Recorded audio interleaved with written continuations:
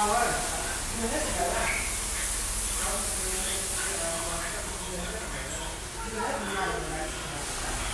you.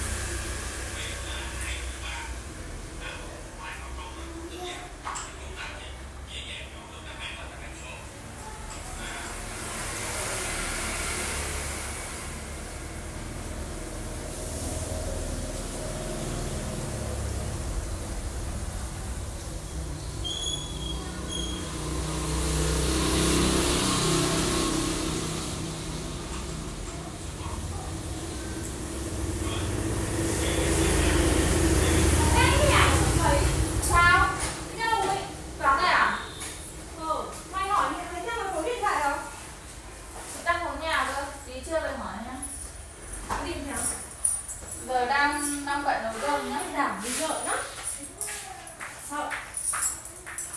Nó đẹp thế này. Cùng năm rồi thủy thọ cứ ra con thủy thọ. Cứ đẩy mấy bẩn xong không bao tiền? Biết gì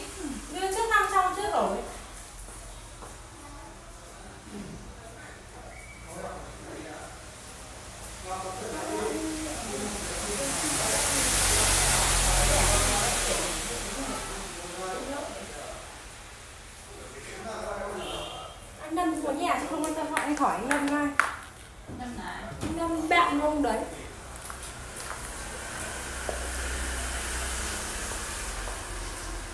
Vừa rồi đi phút đâu rồi? Vừa rồi đi phút đâu rồi? Không.